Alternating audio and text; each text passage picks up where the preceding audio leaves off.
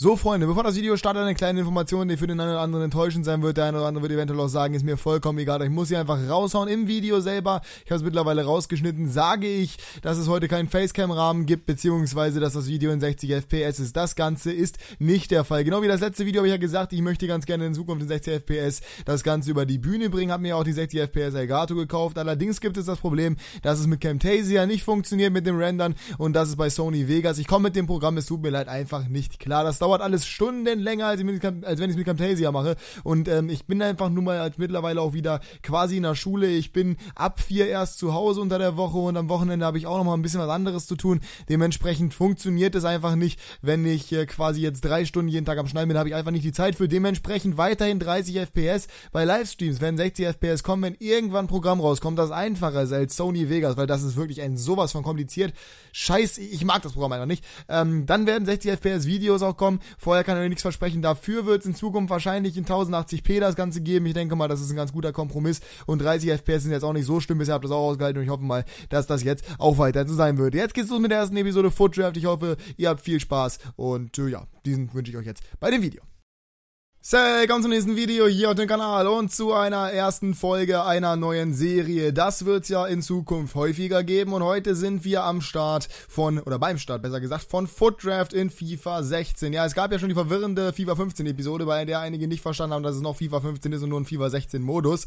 Äh, das ist ein bisschen schade und ich wollte euch natürlich nicht verarschen, das war nicht mein Ziel, aber so ist vielleicht auch einige rübergekommen, das tut mir leid. Heute gibt es wirklich FIFA 16, zwar die Demo, aber immerhin FIFA 16 und äh, die erste Episode von Foot Draft, das Ganze wird als Serie kommen und wer nicht weiß, wie das funktioniert, dem werden wir das Ganze gleich mal erläutern. Ich habe schon zwei Folgen aufgenommen. Ein Team könnt ihr bei Instagram sehen. Das war ziemlich nice. Da hat meine Elgato nicht funktioniert. Gestern habe ich auch eine Episode aufgenommen und da war dann die Soundspur weg. Da hatte ich Cristiano Ronaldo auf dem linken Flügel. Also es wäre sehr nice gewesen, aber so muss man halt damit leben. Ich hoffe mal, das geht einigermaßen klar und jetzt kommen wir zur dritten, beziehungsweise zum ersten, zum dritten Versuch der ersten Episode. Sagen wir es mal so. Wenn es euch gefällt, lasst einen Daumen nach oben da. Ich denke mal, die Serie könnte FIFA 16 sehr, sehr viel Spaß machen. Ich hoffe es zumindest. Und äh, wir starten einfach, würde ich sagen, direkt mal durch. Links in der Videobeschreibung für weitere Unterstützung zu Random, Instagram, Facebook, Twitter und so weiter und so fort. Einfach bei euch, wenn ihr Bock drauf habt, würde ich mich selber freuen. Äh, baue eine Mannschaft auf, indem du für jede Position eine Auswahl aus fünf zufälligen Spielern triffst, drafte dein bestes Team und misst dich auf den Platz mit deinen Gegnern. Foot Draft, ein neuer Modus bei FIFA Ultimate Team. Messi Aguero und Griezmann haben wir hier als Coverspieler und äh, genau das werden wir natürlich jetzt tun. Das Ganze dauert eine Sekunde, allerdings macht es wirklich relativ viel Spaß. Wir dürfen erstmal aus drei Format äh, aus fünf Formationen auswählen und ich entscheide mich hier fürs 4-3-3 ähm 4-3-5, also quasi mit falscher 9 oder nehme ich eventuell das 4-2-3-1, was auch nicht uninteressant wäre. Aber wenn man dann Ronaldo bekommt, kann man den nicht einbauen, deswegen nehmen wir 4-3-3 äh, falsche 9. So, als nächstes kommt der Kapitän und da haben wir hier die Auswahl aus nicht so interessanten Spielern. Ähm, ja, Iniesta werde ich dann einfach mal nehmen. Äh, es kann immer noch sein, dass wir beispielsweise Messi bekommen, Ronaldo bekommen und so weiter und so fort. Allerdings ist die Wahrscheinlichkeit ein bisschen geringer. Hier wird nochmal erklärt, wie das Ganze mit Chemie funktioniert. Ich habe ja irgendwann mal ein Tutorial gemacht, deswegen erkläre ich das jetzt nicht nochmal. Ich denke mal, die, die äh, FIFA schon gespielt haben, wissen Bescheid. Allgemein haben wir natürlich auch Chancen, ähm, theoretisch Legenden zu bekommen. Legenden linken ja dieses Jahr zu jedem Spieler, wären also extrem nice. Ähm, ich werde versuchen, so ein bisschen Hybrid aus, ähm, ja, jetzt spanischer Liga und allen, allen möglichen anderen Ligen zu machen. Aber natürlich auch so ein bisschen, dass äh, wir trotzdem starke Spieler dabei haben. Zum Beispiel Beispiel ähm, Bernd Leno oder Asmian Danovic. Ich nehme mal Bernd Leno, weil ich glaube, dass ähm, beispielsweise ein Toni Janschke relativ oft vorkommt. Wir gehen von links nach rechts in der Verteidigung und bekommen als erstes mal äh, Marcelo, was gar nicht so schlecht wäre. Wir können nämlich natürlich noch äh, Iniesta auf die andere Seite stellen und ich glaube, wir nehmen tatsächlich einfach mal Marcelo, denn der sieht sehr, sehr stark aus dieses Jahr mal wieder. Leider keine Forster-Skills, die er jetzt mal wieder verkackt, aber wir kennen es ja nun mal nicht anders. Erster Innenverteidiger wird dann äh, Skodra Mustafi, was natürlich ideal ist, weil wir einen deutschen Keeper haben und jetzt einen deutschen Innenverteidiger. Wir können auch Pepe nehmen und darauf hoffen, dass wir Toni Janschke oder so bekommen, aber ich äh, bleib dabei bei Mustafi Mustafi, vielleicht kriegen wir Pepe im späteren Verlauf nochmal und können den im Notfall einbauen. Sieht auf jeden Fall schon mal ganz cool aus. Mustafi dieses Jahr auch sehr, sehr stark mit 70 Tempo unter anderem. Sieht gut aus. Nächster Innenverteidiger hoffentlich ein Deutscher. Jawoll, nämlich Jerome Boateng. 87er Karte. Das ist natürlich perfekt jetzt gelaufen. PP hätten wir trotzdem nehmen können, weil dann hätten wir hier weiter denken können zu Iniesta, äh, weil Boateng ja sowieso einen Stronglink gehabt hätte. Aber so ist natürlich noch idealer, ähm, denn so haben wir Leno auf jeden Fall auf voller Chemie und es ist einfacher, Boateng weiter zu verlinken. Wenn wir jetzt Rafinha bekommen, äh, dann müssen wir wirklich nochmal überlegen, ob wir äh, hoffentlich noch Pepe Pepe bekommen oder sowas. Aber wir schauen mal, wer es werden wird auf der Rechtsverteidigerposition. Und da wird es anscheinend äh, Danilo für mich werden. Ich weiß noch nicht so wirklich, aber Danilo sieht von denen schon am stärksten aus. Normalerweise Tabaleta, aber die haben noch Jesus Navas auf rechts und äh, das heißt, er würde nicht auf volle Chemie kommen. Wobei doch. Theoretisch schon. Und ich glaube, das mache ich auch mal. Oder ich nehme Aurier.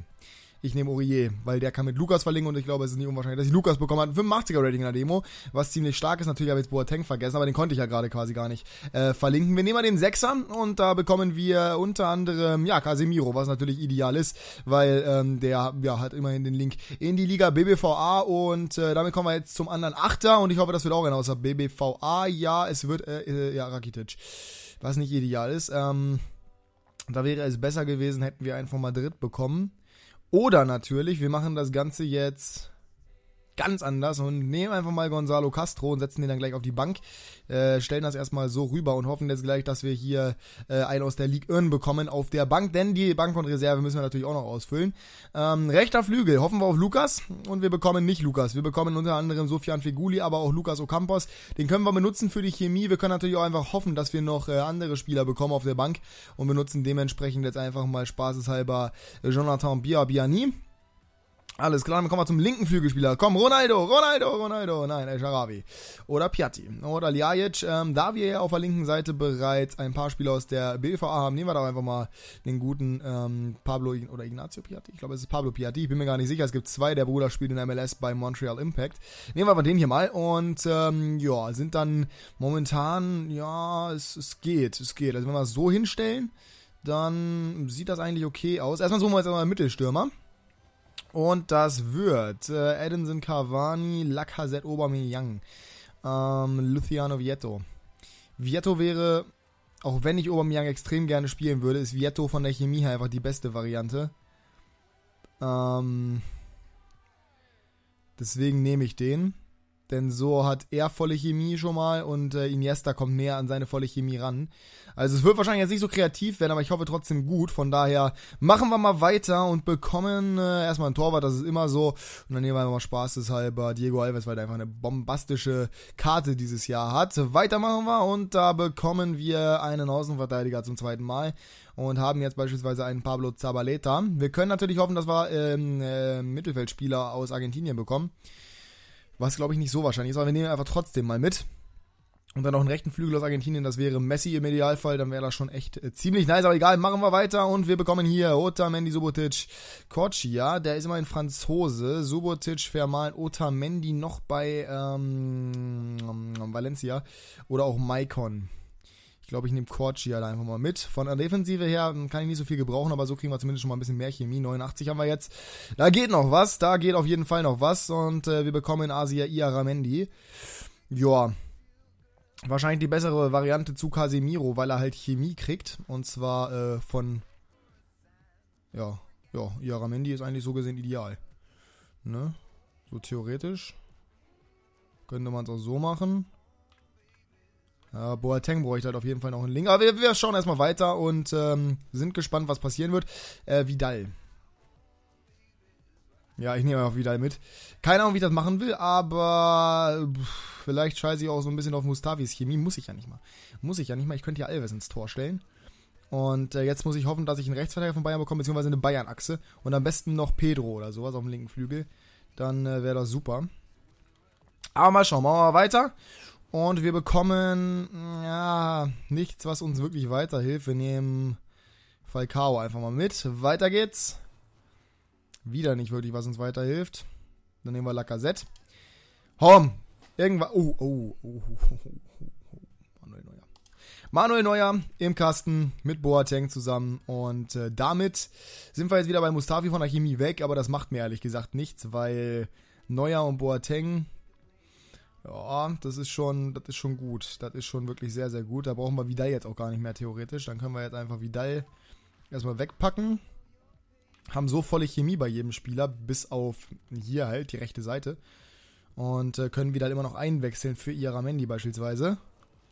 Wir kriegen aber, muss verrecken, keine rechten Flügelspieler, was ein bisschen nervig ist. Ähm, ich entscheide mich hier mal für Sokrates. Komm, rechten Flügelspieler, das kann doch nicht so schwer sein. Modric, oha. Ja, Modric ist natürlich nochmal ein bisschen besser als Iaramendi, muss man ganz ehrlich sagen. Ähm, trotzdem Rechtsverteidiger. Ja, hätte ich mal, hätte ich mal Danilo genommen, ne? Hätte ich mal Danilo genommen, wäre ich mal nicht so dumm gewesen, hätte gedacht, ich krieg Lukas. Ach, egal. Vielleicht haben wir jetzt noch das Glück. Äh, nee, haben wir nicht. Wir kriegen dafür Peace Check. Ähm, ja, den nehme ich auch mal mit. Gefällt mir besser als Quatschia und 97 Chemie. Im Vergleich dazu hätten wir 100 Chemie mit Korchia. Ah ja, klar, wegen Biabiani. Hoffen wir auf den letzten Spieler. Müssen wir mal schauen. Äh, auf volle Chemie kommen wir zwar wahrscheinlich nicht ähm, komplett gut. Nee, ähm, wieder Scheißspieler. Wieder Scheißspieler. Wir nehmen einfach mal Carlos Bacca. So, das heißt, wir nehmen äh, Pisscheck raus, Korchia rein. Pisscheck wechseln wir dann wahrscheinlich ein. Ähm, müssen wir mal schauen. 100 Chemie haben wir. Sieht nicht ganz ideal aus, aber sowas kann bei Footdraft einfach mal passieren. Äh, man weiß nie, was man so wirklich bekommt. Äh, vielleicht machen wir so, und damit Modric volle Chemie hat. Und dann wechsle ich einfach äh, Vidal ein für Casemiro und mache das dann irgendwie so. Wir schauen einfach mal. Ich würde sagen, wir nehmen erstmal mal den Manager aus und äh, bekommen da, ja, José Mourinho. Wenger. Wir nehmen Wenger, weil der bringt Chemie für Korchia und für Biabiani. Gut, das ist jetzt unsere Übersicht. Topspieler sind Iniesta, Neuer und Falcao anstelle von beispielsweise Vidal oder Boateng. Aber gut, ähm, ja, 83er Teambewertung, 9 Spieler aus der BBVA, 7 Spieler aus der Bundesliga, 5 Spieler aus Deutschland. Ich würde sagen, ich äh, spiele mal ein Spielchen gegen Barcelona und dann sehen wir uns gleich in-game wieder. So, Freunde, da sind wir. Santiago Bernabeo Foot Draft gegen den FC Chelsea. Ich habe mich jetzt doch für Chelsea entschieden, weil ich so viele Madrid- und Barcelona-Spieler habe. Deswegen ist da vielleicht unser Londoner Club, von dem wir keinen haben, die bessere Variante. Ähm, habe ich mir zumindest so gedacht, wir spielen auf Weltklasse. Sechs Minuten Halbzeit kann man nicht einstellen. Aber ich denke mal, das ist trotzdem in Ordnung. Äh, was ich direkt schon mal sagen kann, ich habe beim Gameplay bisher so ein paar Auffälligkeiten. Und zwar einmal, dass Longshot einfach gar nicht mehr funktioniert oder irgendwie ganz komisch. Ich habe keine Ahnung, woran das liegt. Könnt ihr mir gerne in die Kommentare schreiben, wenn ihr wisst, äh, wie das funktioniert, ob man irgendwas Spezielles einstellen muss oder ob man man äh, irgendwie mittlerweile fünf Balken braucht, um richtigen Longshot zu kriegen. Ich werde das gleich mal demonstrieren, was ich meine. Das ist irgendwie so ein bisschen, naja, komisch, würde ich sagen. Ähm, des Weiteren, Flanken aus dem Halbfeld funktionieren, sie ziehen sich rein, das ist auch ganz schön. Und ähm, ja, an sich ist alles so ein bisschen schwerfällig, würde ich fast schon sagen noch. Skill-Moves sind ein bisschen schwierig und äh, allgemein ist das Spiel definitiv noch nicht ideal. Auf der Gamescom hat es überraschenderweise besser gefallen. Äh, müssen wir mal schauen. Aber gut, ich würde sagen, wir gehen einfach mal ins Spielchen rein und dann äh, legen wir los. So, vielleicht kann ich jetzt mit den Flanken mal demonstrieren anhand von Bia Biani, auch wenn jetzt keiner in der Mitte ist. Doch, da ist Vietto! Oh, den kann man auch schon mal machen. Ähm, ja, das war jetzt nicht wirklich aus dem Halbfeld, aber das funktioniert auf jeden Fall trotzdem. Was auch auffällig ist, ähm, Pace scheint wirklich auch in Ultimate Team nicht mehr so wichtig zu sein. Also ist nicht mehr das Maß aller Dinge, während du ja mit Ibabo in FIFA 15 alles nass machen kannst, theoretisch, aber wenn mittlerweile irgendwie keiner mehr spielt. Ähm, ist es mittlerweile, also kommt mir zumindest hier so vor, dass mehr über Kombinationsspiele geht, auch wenn solche Moves hier, wo sich der Computer den Ball mal weit vorlegt, öfter vorkommen. Ähm, was anscheinend relativ effektiv zu sein scheint, aber ist ja auch in Realität so. Oh, ah, schöner Versuch von, von wem eigentlich? Ach, von Oscar. Ähm, Kombinationsspiel ist trotzdem, macht erstens Spaß und zweitens effektiv, also scheint äh, interessant zu sein. Das war ja geil. Vidal im 16er und er wird vom Ball getrennt. Das wäre natürlich jetzt schön gewesen. Ich versuche erstmal einen Longshot rauszuhauen, wenn ich den Ball gewinne. Ja, tue ich. Kommt zu. Luciano Vietto, der ist natürlich auch nicht so der Longshot-Spezialist. Vidal ist das schon eher. Aber die Be Oh, der kommt sogar hoch. Das ist das erste Mal, dass ich einen hohen Longshot gesehen habe dieses Jahr. Normalerweise kommen sie immer flach. Können mir gerne, wie gesagt, in den Kommentaren schreiben, woran das liegt. Oh, das war ein ganz großer Fehler, aber der William verzieht jetzt zum Glück. Da wollte ich mich auf Linie stellen, was natürlich äh, ein Bitch-Move ist, aber teilweise einfach nötig. Und dann machen sie es kurz.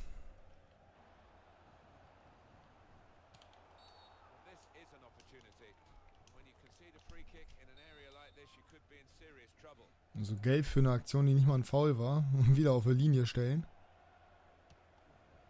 Und runtergehen und neuer zu einer Parade zwingen.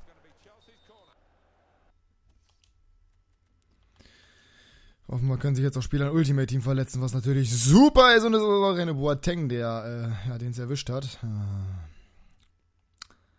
nehmen wir jetzt Zabaleta rein oder Pisscheck? Pisscheck. Also Freistoßschützenmäßig sieht das jetzt auch nicht so pralle aus. Ich habe keine Ahnung, wie Kopfbälle dieses Jahr so sind. Ah, Vidal kommt da aber auch nicht ran. Marcelo, so jetzt versuchen wir wieder einen Longshot. Und ja,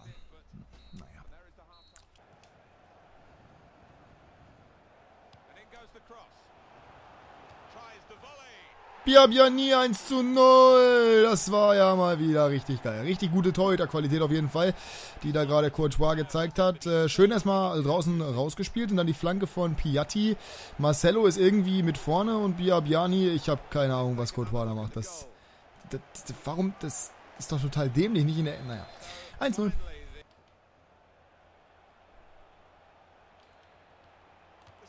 Oh, oh, oh, oh, oh, oh, oh, oh, oh, oh, oh, der Pfosten von äh, Fabregas müsste es gewesen sein. Kontergelegenheit vielleicht. Ne, Piatti ist äh, da nicht in der Lage, aber jetzt vielleicht auf Iniesta. Der hat natürlich Ballkontrolle bis nach Meppen, aber das war äh, richtig dumm.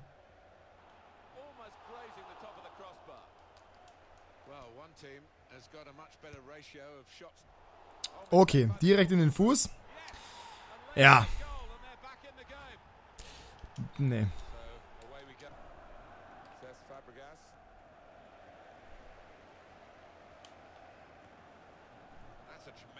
Das war richtig schön gemacht von Vidal. Jetzt auf Piatti auf Außen.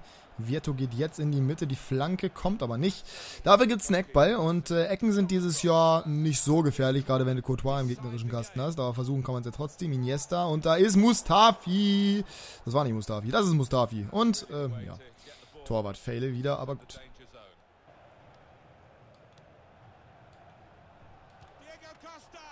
Oh, Neuer nochmal mit einer guten Parade. Jetzt in der 90. hier. Ähm, ja, unentschiedenes Leistungsgerät. Es geht eigentlich in eine Verlängerung. Von daher ist es noch kein Unentschieden. okay, geht in Ordnung. Ist ein bisschen sehr optimistisch für mich. Lacazette Modric. Guter Kopfball. Nee, Iniesta war das, oder? Ich weiß es gar nicht. Meiner Mittelfeldspieler. Das war sehr, sehr stark. Jetzt die Ecke wieder gut reinbringen. Und da ist, ich weiß nicht, wer an die Latte. Vieto war es. Vieto mit dem Kopfball. Das wäre natürlich ideal gewesen. Der ist eigentlich gar nicht so groß. Modric nochmal. Longshot vielleicht? Ah, nee.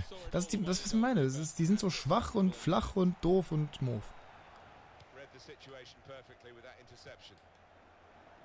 Oh, oh, oh, oh, oh, das ist ganz gefährlich, Costa an den Außenpfosten. Also das erste Spiel hier, die erste Episode Foot Draft. Oh, nee, nicht schon wieder, ey, das ist doch unfassbar. Seit wann stellen die denn diese Wege zu? Muss ich mir auch noch dran gewöhnen. Nur Ball von Pisscheck. Ähm, die erste Episode Foot Draft könnte gleich mit einer Niederlage starten, denn äh, wir müssen eventuell jetzt Elfmeter schießen und da ist alles möglich. So, Lacazette jetzt mal. Über außen eingewechselt für Piatti. Berbersbin hat da keinen Bock drauf. Warum, weiß nur er.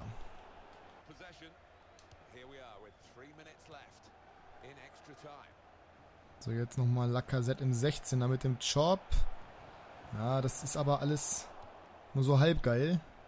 Corchia nochmal und da ist Iniesta und da ist Vieto. Ja, die stehen hinten halt auch wirklich quadratisch praktisch gut. Marcelo nochmal. Flanke, da ist äh, nochmal Eckball und das ist in der 120 Minute die letzte Chance der Partie, sonst geht's ins Elfmeterschießen. Iniesta bringt den rein und da kommt Lacazette und wieder ist äh, Courtois, immerhin sind die Ecken anscheinend jetzt gefährlicher. Spiel müsste vorbei sein, es geht ins Elfmeterschießen. Ja, gut, von mir aus. Ähm, machen wir genau so. Ich dachte gerade 86, äh, 76 Elfmeter wäre krass, aber äh, okay. So, wieder mit dem ersten gegen Thibaut Courtois. Mal sehen, ob es immer noch funktioniert. Natürlich, meine halbbewährte Elfmeter-Taktik, ich schieße ja jeden so. Das äh, wisst ihr eventuell aus dem Karrieremodus. Das funktioniert bei mir einfach so. So, Hazard schießt nach rechts. Oh, nee, macht er nicht. Aber, oh, das war eine neue Animation. Wäre ich wohl stehen geblieben, hätte er den gehabt. Ähm, Lacazette wieder nach oben und ein bisschen links. Und wieder ist er drin. War diesmal nicht so gut, aber besser. Übrigens springen die jetzt nicht mehr. Wenn sie merken, dass es die falsche Ecke ist, dann gehen sie nur noch so, so halb runter. Und, äh, ne, so wie Neuer jetzt gerade beispielsweise. So, Luka Modric. Mal ganz... Oh, das war jetzt gelupft. Fuck. Nee, war es nicht. Ey, richtig schöner Elfmeter von Modric. Wunderbar. So, Costa muss jetzt gehalten werden. Der geht jetzt wieder nach links. Sag ich dir aber. Ah, links, nach links. Oh, nee, in der Mitte. Den kannst du dann noch halten. Also, wenn du die Animation schon so machst, dann kannst du solche Bälle dann auch wenigstens versuchen noch zu halten. So, Iniesta wieder. Gleiche. Ja, funktioniert immer noch. Auch wenn er in die linke Ecke springt, ist der, ähm, ja, Ball trotzdem drin. Oscar gegen Neuer. Auch drin. Also es wird hier wahrscheinlich ein Battle auf äh, Lebenszeit werden. Luciano Vieto wieder nach äh, links oben. Ja, perfekt reingehauen. Und damit kommen wir jetzt zum Entscheidenden für Chelsea. Wenn Ramirez verschießen sollte und ich springe wieder nach links, dann, ja, nee, hätte ich hier gewonnen. Aber so muss jetzt erstmal noch Corchia treffen. Und zwar auch wieder da ungefähr. Oh, der war auch nicht jetzt nicht irgendwie nach oben Mitte gezieht, sondern wirklich nach links oben. Arzpiliqueta gegen Neuer. Irgendwann muss ich doch mal einhalten. Das geht auch so nicht. Mitte. Jetzt, jetzt springt er. Ja, das ist doch unfassbar. Jetzt schießt er nach links. Das ist ja, ja Verarsche hier. So, wir haben ja nie. Ganz oben rechts, ganz oben rechts. Jawohl, ist drin. Ach, das geht hier ewig so weiter, glaube ich. Quadrado gegen Neuer. Komm, wieder nach links. Wieder nach links. Nein, er lupft. Und er luft an die Latte. Damit haben wir gewonnen. Die erste Episode Foot Draft geht an uns. Manuel Neuer beschert uns äh, zwar nicht den Sieg, aber hat natürlich den Schützen nervös gemacht. Von daher reicht unser Tor durch. Jonathan Biabiani zum Sieg. Ich hoffe, die erste Episode Foot Draft hat euch gefallen. Ich bin sehr gespannt, wie das in der Vollversion werden wir bestimmt noch mal ein Stückchen besser. Da freue ich mich extrem drauf. Bald ist sie da und äh, dann geht's richtig los mit FIFA 16, Ultimate Team mit FIFA 16 Karrieremodus und so weiter und so fort. Wenn es euch gefallen hat, lasst einen Daumen nach oben, wenn es euch gefreut hat, äh, beziehungsweise wenn es euch freut, dass es in Zukunft diese Serie geben wird. Lasst auch einen Daumen nach oben da. Äh, Daumen nach oben da. Und wir sehen uns dann beim nächsten Mal wieder. Ich wünsche euch noch einen wunder wunderschönen Tag. Manuel, euer Man of the Match. Wie sollte das sein? Bis dann, wunderschönen Tag noch. Haut rein und ciao.